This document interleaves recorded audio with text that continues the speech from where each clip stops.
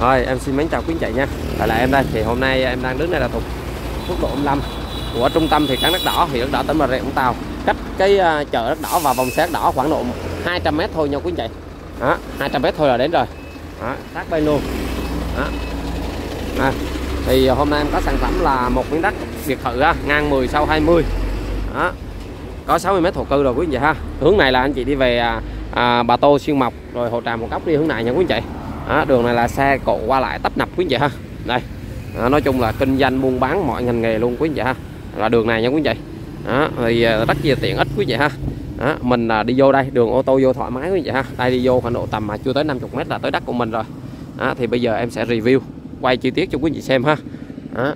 thì ở đây được cái là không khí mát mẻ cách biển Phước Hải khoảng độ tầm à, 10 km thôi nha. Quý chị là anh chị đi tới biển rồi đi tới 10 phút là đến à, biển Phước Hải quý vậy ha. Rồi về thành phố Bà Rịa cũng 10 km nha quý chị đó à, quán xá này. Đó, nói chung là tiện ích đủ thứ vậy ha. Gần trường học bệnh viện. Đó, thì à, em đang đi bộ vô đây. Đó, thì đường này thì à, ô tô xe tải 5 tấn đi được nha quý chị đó. Đó, xe à, ô tô xe à, 5 tấn đi thoải mái luôn. Đó. À, em sẽ quay sơ lại cho quý vị xem ha à, à, em có em review động quý xem thì vô đây là đường nó rộng hơn nha. Đó, vô đây là đường rộng hơn nha quý vị à, đây nói chung là hẻm thôi nhưng mà ô tô đi tới nơi nha quý vị đây đó.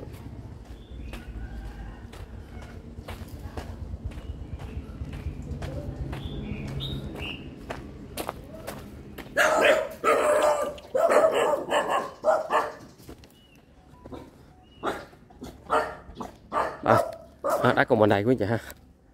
À, từ cái cặp này à, qua cái cặp này ha.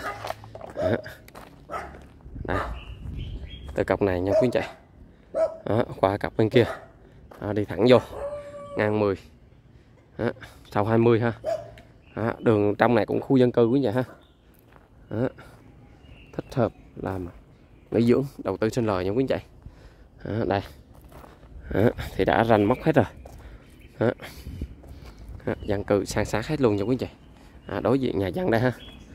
Đó. đây. Đó. Đó, nói chung là khu vực này là đất đỏ ba giang cực kỳ tươi tốt nha quý chị anh chị thích là liên hệ cho em ha. À, để em quay sơ cái sổ vị trí quý vị xem nha. Cách quốc lộ 55 khoảng độ tầm 50 mét thôi nha. À, đây là sơ đồ vị trí quý vị ha. Đó, thì đất mình là dung dứt trước 10 sau 10 không bị tóp thiết như nha quý chị đó đó, đây là cái sổ này. Đó, sổ hiện tại là sổ cũ ha. Đó.